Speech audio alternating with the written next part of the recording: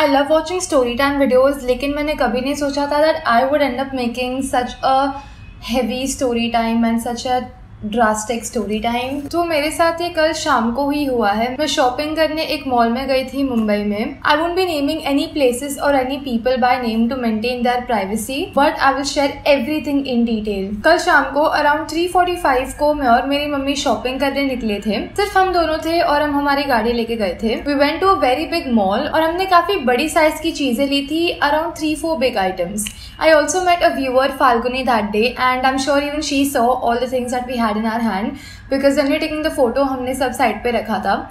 तो जब भी हम सब सामान लेके बाहर निकल रहे थे, तभी हमारा गाड़ी था वैले पार्किंग में। वो मॉल में कंपलसरी वैले पार्किंग था क्योंकि there in house space was only ten parking slots तो उधर एक आउटसोर्स वैले सिस्टम था। तो मैंने मेरा गाड़ी वहाँ पे देना ही पड़ा था। तो जब हमको सामान अंदर डालना था, तभी हमने उनको रिक्वेस्ट किया कि हम कैसे डालें, क्योंकि ऊपर और सामान है जो हमें लेके आना पड़ेगा। बिकॉज़ हम सिर्फ़ दो लोग हैं तो एक टाइम पे इतना ही सामान आएगा।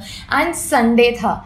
जब ये हुआ, तब ये संडे था। तो और एक्स्ट्रा स्टाफ भी नहीं था जो हमको हेल्प करने हैं, सामान रखने के लिए। तो वाले वाले ने क्या कहा कि मॉल के जो इधर एग्जिट के इधर पार्किंग स्पॉट्स है ना, अगर आपको कोई खाली स्पॉट मिले तो आप वहाँ पे गाड़ी लगा दो तो आराम से आपका गाड़ी का चाबी भी आपके पास ही रहेगा और आप और सामान लेके आ सकते हो।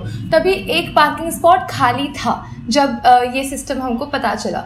तो मैं और मम्मी वो पार्किंग स्पॉट पे रुके थे। हमारा गाड़ी वाले से आ गया है, हमारे सामने ही है, बस वो टर्न मार के आना बाकी है। उतने टाइम में कोई रॉन्ग रॉन्ग वे से आके अपना गाड़ी पार्क करने का ट्राई कर रहा है वो पार्किंग स्पॉट में।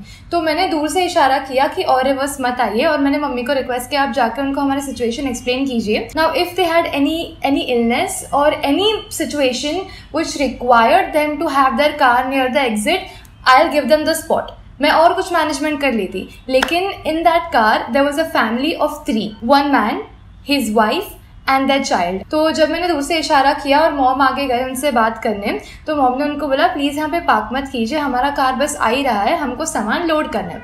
तो उन्होंने मेरी मॉम से इतनी बदतमीजी से बात की कि अगर आप खड़े हो गए तो आपका प्राइवेट स्पॉट हो गया क्या? मैं तो अभी भी आपको बहुत पोलाइटली बोल रही हूँ but the way he talk to my mother was very very rude तो मॉम जब उनसे तो मॉम का भी थोड़ा दिमाग खराब हो गया and even mom raise the voice कि आप ऐसे कैसे बात कर सकते what do mean by this और जब ये कॉन्वर्जेशन चालू है, तब तक मेरा गाड़ी आधा पार्किंग स्पॉट के अंदर जा चुका है। उनका गाड़ी स्टेशनरी था जब ये बात हो रहा था और मेरा गाड़ी अंदर आ गया आधा। और मेरा गाड़ी रुका था अंदर आके ताकि वो थोड़ा और आगे ले तो मेरा गाड़ी और अंदर जाए।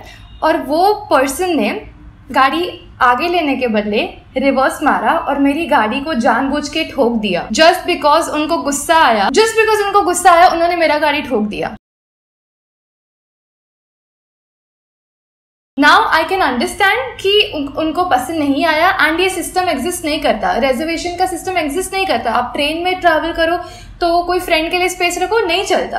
जो पहले आया, उसको पार्किंग स्पॉट मिलेगा। लेकिन we were in situation where the two of were alone और और बहुत सारा सामान ऊपर था जो हमको अनलोड करना था।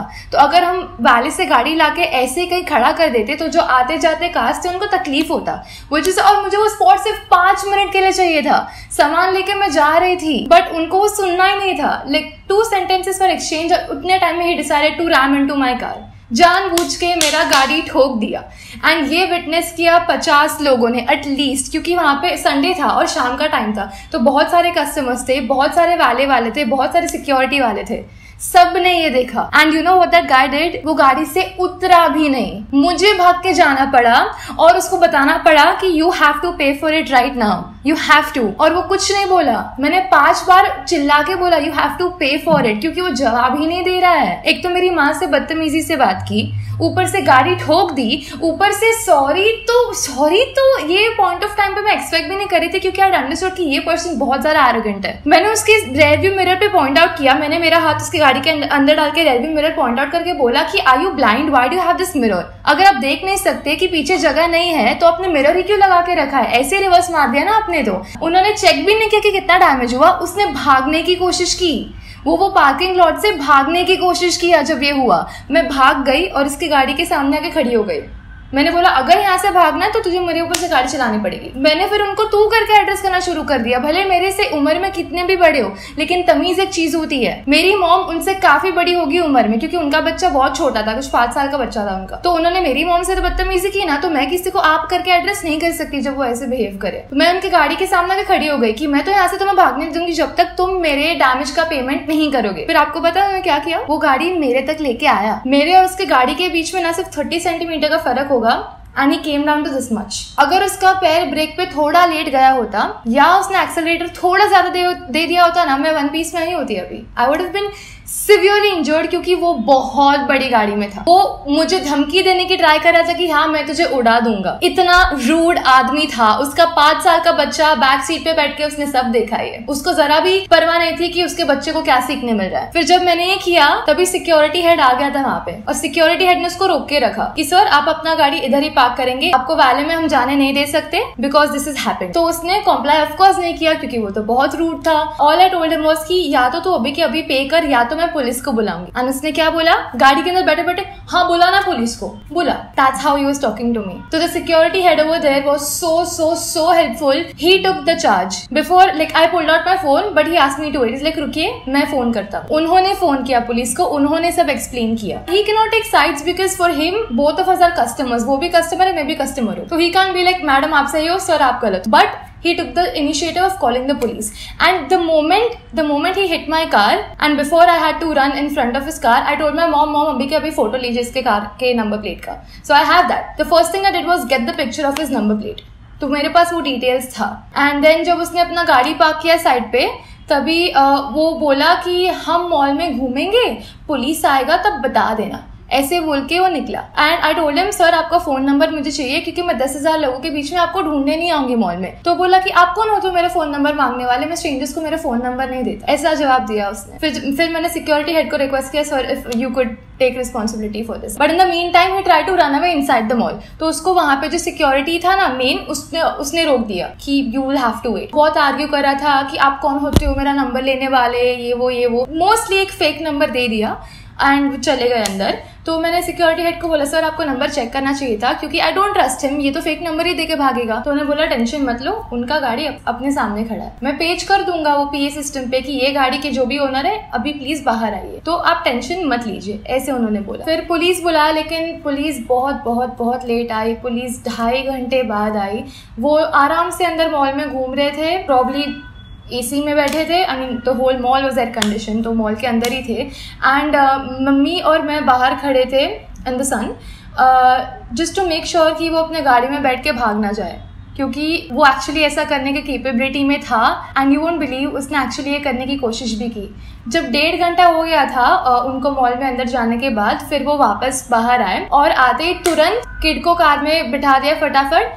वो दोनों बैठ गए, गाड़ी चालू करके थोड़ा सा आगे लिया। इन टाइम मैं उसकी गाड़ी के आगे वापस भाग गई। फिर उसने मुझे गाड़ी के अंदर बैठे बैठे ऐसे इशारा किया, हट। लिटरली ऐसे इशारा किया और ये बोला भी। ऐसे किया उन्होंने मेरे साथ। मैंने बोला, मैं तो नहीं हटूँगी। मैं तो तुम्हें नहीं जाने दूँगी जब तक पुलिस नहीं आती। तो शौक हो गया, ओ, पुलिस बुलाई है? तो मेरी मम्मी ने उनको बोला हाँ आपने मॉल घूम लिया ना पुलिस स्टेशन भी घूमने चलिए। This is what my mom told them फिर उसने क्या क्या बताया रिवर्स लेकर भागने की कोशिश की। तो मैंने मम्मी को चिल्ला के बोला, मम्मी, फटाफट उसकी गाड़ी के पीछे रुक जाओ, क्योंकि वो इंसान को हानि करता ना तो तो उसकी पब्लिक ही पिटाई कर देती वहाँ पे। मम्मी भागी उसकी गाड़ी के पीछे। वैसे हमने उसको वापस ब्लॉक कर लिया और फिर वो तो इतना आरोगेंस की, वो तो गाड़ी से उतरेगा नहीं। तो उसने सिक्योरिटी वाले को हॉर्न मार मार के बोला कि, तू इधर आ तू मेरे साथ बाहर खड़े रह के बात कर। मैं तो गाड़ी से ना उतरू। तो सिक्योरिटी हेड से बहुत आर्ग्यू करने लगा कि जब हमने रिवर्स लिया, तब इनकी गाड़ी तो थी भी नहीं और हम तो आगे थे। इनकी गाड़ी तो बहुत दूर थी। ऐसे आर्ग्यूमेंट करने लगे। मतलब इतना लॉजिक के बिना आर्ग्यूमेंट था ना कि if my car was not there तो मेरी गाड़ी ठुकी कैसे? मैं उसके गाड़ी पे ना, ऐसे उसके बोनेट पे ऐसे बैठ गए कि तुझे जो करना कर, मैं तो नहीं हटूँगी यहाँ से। फिर मैंने उन दोनों का वीडियो लिया, उसकी वाइफ का और उनका। So that I have their face ID proof is well like उनका वीडियो लिया, फिर गाड़ी के नंबर पे वीडियो लिया, फिर वापस उनके फेस पे लिया। So that I have the proof कि ये दोनों लोग,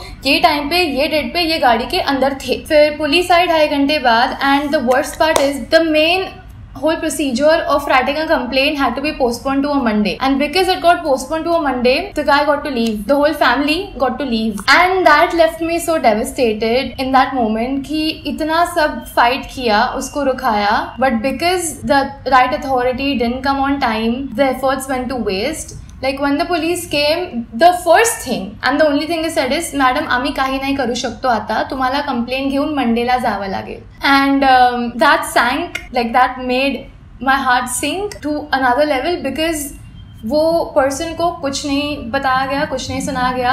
I understand why that happen क्योंकि पुलिस वहाँ पे नहीं थी जब ये हुआ. तो because they world there police आके तुरंत कुछ नहीं बोल सकती कि ये क्यों किया, कैसे किया यू आर रॉन्ग आज चलते कस्टमर्स भी उसको सुनाते गए। एक पर्सन आए one man came and he told him कि, सर, थोड़ा कर्टेसी तो रखते। अगर आपके जगह कोई और इंसान होता ना तो सबसे पहले सॉरी बोलता, फिर वो उतरता और चेक करता कि डैमेज कितना है। And then he would think about how can he make things better but you are so बदतमीज कि आप गाड़ी में बस बैठे रहोगे। और नज़ारा देखोगे। If any human has gotten even little bit of hurt in an accident like this then the police would not have asked us to do anything they would have taken that man right on the spot to any police station available but because there was no human injury thank God for that I really really thank God for that that जो वाले वाला गाड़ी चला रहा था ना like one he bored our car out उसको भी इंजरी नहीं हुई थैंक गॉड अगर और थोड़ा पीछे आता ना, उनको डेफिनेटली इंजरी होता क्योंकि साइड में तो उड़ा ही दिया था। Next thing was that guy if any one of you are from a league legal background or have been in a similar situation, please let me know down below what you think would be an appropriate thing to do. I do not want his money to be honest. All I want to see is to see him punished for the way he behaved. Everybody there gave me the what you call like samadhan that you are completely right. It is his fault. Like I was not even in the car. I witnessed it. So basically, I am still an eyewitness, even though it was my car. This is what happened after he left the police was still there we were still talking to him and the police that came were very very nice like i was very upset and i told him i told the police people that i don't want his money just want to see him punished i told the police everything that my car was stationary मेरा गाड़ी खड़ा था तभी उसने reverse लिया ऐसा नहीं कि दोनों गाड़ी चल रहे थे और टक्कर हो गई and then he did not say sorry बहुत रूडली बात की। जब मैंने आपको बुलाने की बात की तभी भी ऐसे हाथ ऊपर करके बोल दिया हाँ बुला लो मुझे फर्क नहीं करता। This is why I just want to see him punished and the police uncle just only me one thing की तुझा हात बघ आणि तुझी बोट बघ and I knew what he wanted to say my very like in a second I told माहिती आहे की सगळे सेम नाही आहेत and that's what and he said तेच मी म्हणतो. सगळे माणूस सेम नाही होणार आहे आणि तू सगळ्यांना नाही शिकवू शकत. तू तुझं वेलबिंग बघ. मी हे नाही सांगत की कंप्लेन नाही कर. तुला जे करायचे कर. But this is what I have to say to you. The thing that I'm taking out from this is that I'm very proud of myself for the way I dealt with it. Very proud of my very very strong mother कि हमने dad को बुलाया भी नहीं like आपको आना है तो हाँ लेकिन हम मैनेज कर सकते हैं I am extremely thankful to the security people over there who are very helpful. If you've ever been in a similar situation let's vent it out down below. Let's let's not let this be just a one one way story time. I want to read your stories. I want to hear your stories out. So leave any such stories down below and leave any of your advice down below. And i'll see you this saturday. Until then goodbye. I'm still trying to sing. I'm still trying to i'm still trying to be happy and sing. Let's do a positive goodbye. Okay see you this saturday. Until then goodbye that's more like it.